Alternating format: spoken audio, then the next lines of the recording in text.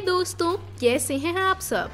TV का तड़का में एक बार फिर से हम लेकर आए हैं top seven news of the day. कौन कौन सी है सात छोटी बड़ी खबरें, बताते हैं आपको भी इस वीडियो में। टीवी का तड़का, पहली टॉप न्यूज़।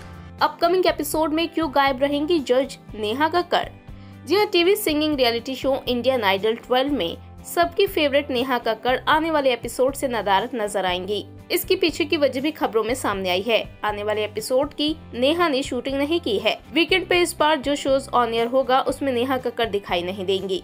खबरों की माने तो नेहा कक्कड़ के शो की डेट्स बाकी के दूसरे प्रोजेक्ट्स के साथ क्लैश कर रही थी और उनके अपने कुछ वर्क कमिटमेंट्स थे, जिनको उन्हें पूरा करना था। इसीलिए नेहा कक्कड़ इस बार वीकेंड एपिसोड की शूटिंग नहीं कर पाई। टीवी का तड़का, दूसरी टॉप न्यूज़ बिकनी पिक को लेकर ट्रोल हुई निया लोग बोले आज ज़्यादा नशा कर लिया। जी निया शर्मा ने सोमवार को अपने इंस्टाग्राम अकाउंट पर अपनी तीन तस्वीरें शेयर की? इन तस्वीरों में आप देख सकते हैं कि निया समुद्र तट पर रेत पर बोल्ड अंदाज में पोज देती नज़र आ रही हैं।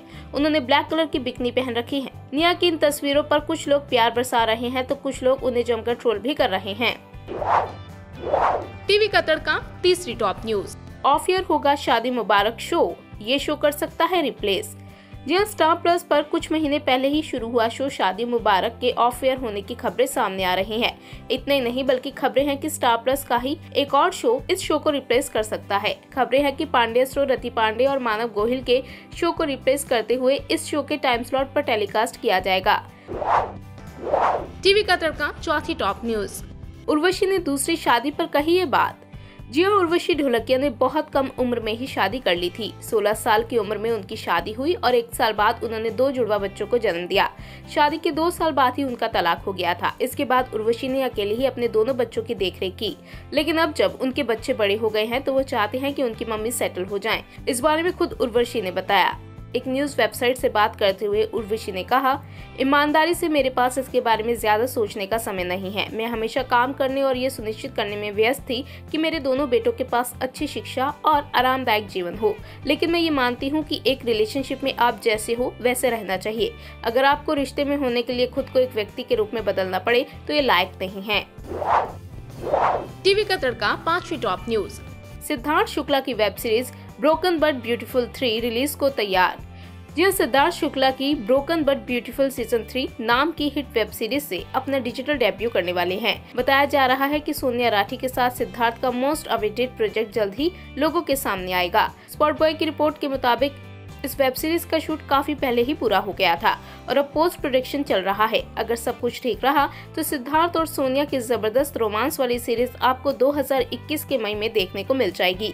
सिद्धार्थ ने इस वेब सीरीज़ का शूट बहुत पहले ही खत्म कर लिया था। उन्होंने डबल शिफ्ट करके इसे समय से पहले ही फिनिश किया था। सीरीज़ में सिद्धार्थ अगस्त्य राव का रोल प्ले करते देखेंगे, जिसे रूमी नाम की लड़की से प्यार हो जाता है। फैंस को दोनों के बीच ज़बरदस्त रोमांस भी देखने को मिलेगा।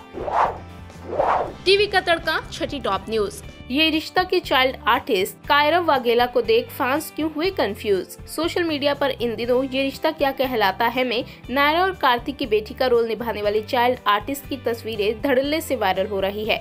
इस समय Kairav Vaghela social media sensation बन चुकी है। कायरव की कोई भी तस्वीर सामने आते ही उसे वायरल होने में जरा भी देर नहीं लगती। सोशल मीडिया पर कायरव की तस्वीरों को देखने के बाद ये रिश्ता के फैंस सिर्फ़ और सिर्फ़ यही पूछ रहे हैं कि कायरव बेबी बॉय है या फिर बेबी गर्ल टीवी कतर का सातवें और आखिरी टॉप न्यूज़ क्यों रिश्तों में कट्टी बट्टी में हुई सेकंड हीरो की एंट्री ऐसे हो रही है शूटिंग जी सीरियल क्यों रिश्तों में कट्टी बट्टी में नेहा मारदा, जो निभा रही हैं शुभ्रा का किरदार, और सिद्धांत जो निभा रहे हैं कुलदीप का किरदार। कहानी इनकी इर्द गिर्द और बच्चों पर घूम रही थी। लेकिन अब शो में हो गई है एक्टर यश सिन्हा की एंट्री भी, जो बतौर सेकंड लीड शो में नज़र आए हैं। यश को आप फ़िल्म बद्रीनाथ की दुल्हनिया में भी देख चुके हैं। आपको बता दें कि शो की शूटिंग कुछ दिनों के लिए गुजरात में हो रही है, और वहाँ एक रिजॉर्ट में बायो बबल क्रिएट किया गया है। वेल तो ये है टीवी की दुनिया की आज की साफ़ छोटी बड़ी खबर। ऐसी ही हर खबरों को जानने के लिए जुड़े रहिए क्रेजी फोर टीवी के साथ।